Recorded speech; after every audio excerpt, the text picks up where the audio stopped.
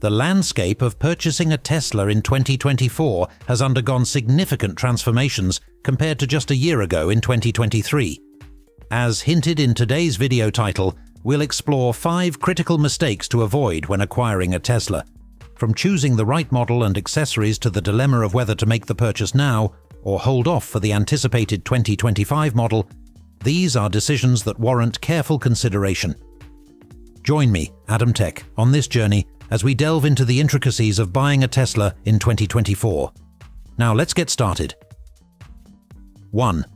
The first mistake that I want to mention today is buying a car with too much or too little range. This is the mistake that impacts the cost most. So let's start off by talking about buying too much range. Frequently, many first-time electric vehicle buyers tend to aim for a range that matches their gasoline vehicle, often exceeding 400 miles. In the case of Tesla, this choice places buyers in the high-end spectrum, typically opting for the priciest model, the Model S. The long-range variant with standard wheels boasts an EPA estimated range of 405 miles, commanding a hefty price tag of nearly $75,000. According to Department of Transportation statistics, the average US driver covers 37 miles per day, that means with Model S, you can go about 10 days without recharging. However, electric cars operate differently than this in practice.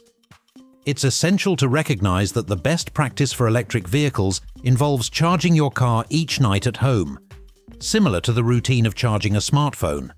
Thus, the need to utilize the entire 405 miles on your Model S is infrequent. Opting for a model with less range is totally fine, and as you'll soon realize, it significantly reduces the overall cost of your Tesla purchase. Even for those occasional road trips, Tesla's extensive supercharger network comes into play. With more than 50,000 supercharger stations worldwide, Tesla provides a convenient solution for road trip charging. Even the lowest range Tesla models can efficiently make long journeys thanks to quick charging at supercharger stations, replenishing 200 miles of range in just 15 minutes. This makes the need for an exceptionally high range less critical for most drivers. Nevertheless, choosing a car with too little range isn't recommended either. Here's the thing. All Tesla vehicles have an EPA range, but the actual range in real-world conditions is often less. This is because the way you drive and other factors can differ significantly from the standard conditions the EPA uses. For those considering the purchase of Tesla's Model S, Model X or Model Y, it's essential to be aware of recent updates to their EPA range. Tesla has made some adjustments due to changes in the EPA process. Specifically, in the Model S lineup, the long-range variant still boasts an impressive 405-mile range, while the Model S Plaid experiences a reduction from 396 miles to 359 miles. Additionally, Tesla has fine-tuned range estimates for different wheel configurations.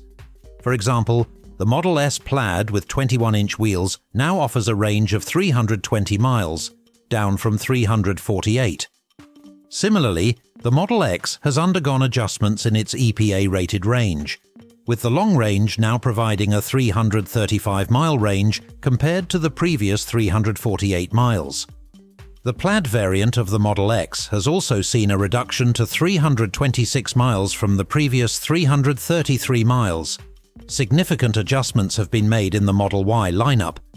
The Model Y long range now has a reduced range of 310 miles, down from the previous 330 miles, while the performance model boasts a range of 285 miles, a decrease from 303 miles.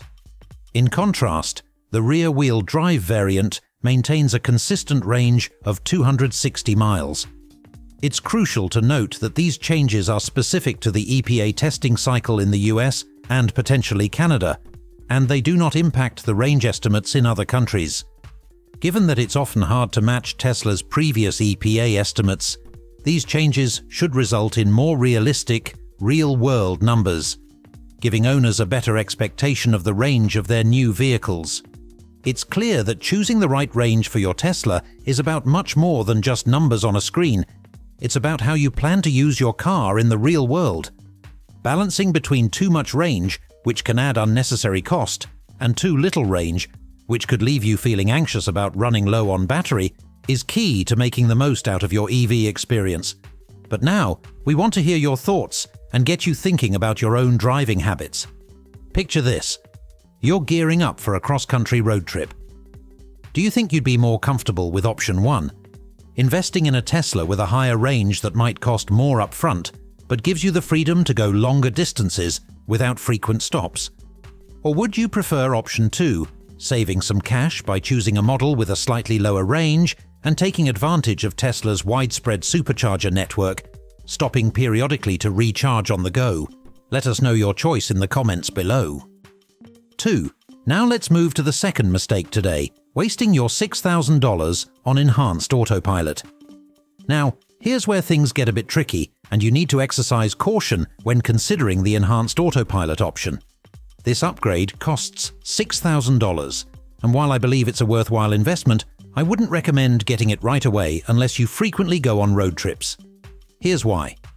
Tesla cars used to have additional sensors that assisted with features like summon and auto park. However, these sensors were removed some time ago and Tesla shifted to relying solely on cameras to handle these tasks. Despite continuous improvements, the system is not fully ready yet. So, many of the features, such as Summon, Smart Summon and Auto Park, are not available at this point. Essentially, paying $6,000 right now gets you navigating on autopilot and auto lane changes which are still beneficial features, but you're not getting the full suite of capabilities promised by Enhanced Autopilot.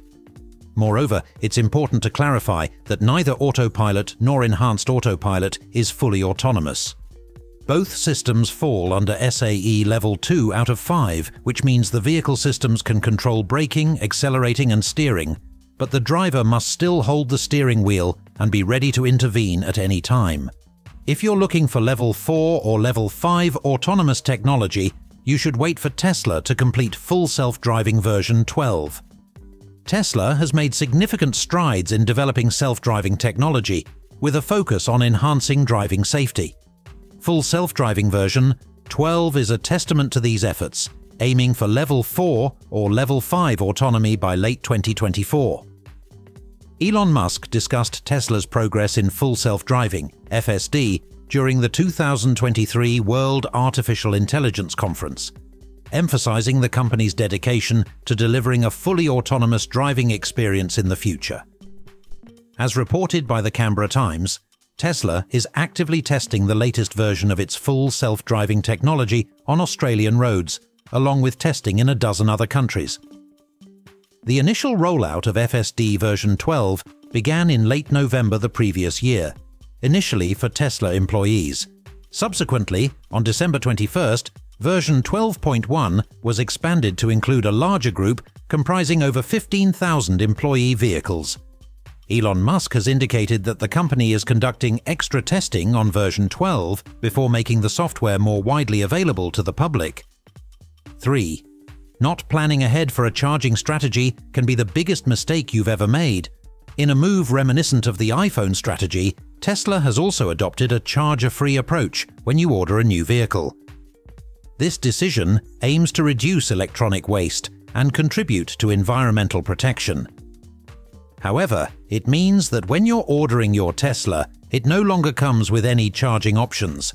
Consequently, you'll need to purchase them in advance or at the time of your vehicle purchase. The mistake to avoid here is not planning ahead for charging. The most convenient and efficient way to charge your electric vehicle is at home, so it's crucial to plan accordingly to ensure you have the right charging setup that best fits your needs. There are three primary ways to charge your Tesla at home. The first option is using the Tesla Mobile Connector, which plugs into a standard 110 volt wall outlet. It's recommended to have the mobile charging kit on hand for emergencies, providing a trickle charge if needed during extended trips or unforeseen situations.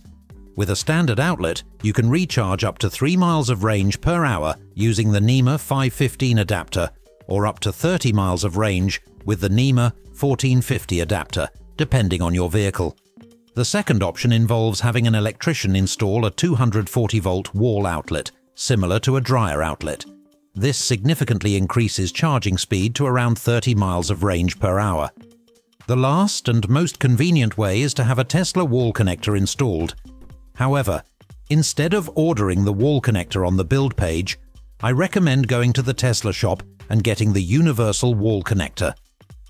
Priced at $595, it serves as a versatile charging solution for both Tesla and non-Tesla electric vehicles, suitable for homes, apartments, hospitality properties and workplaces.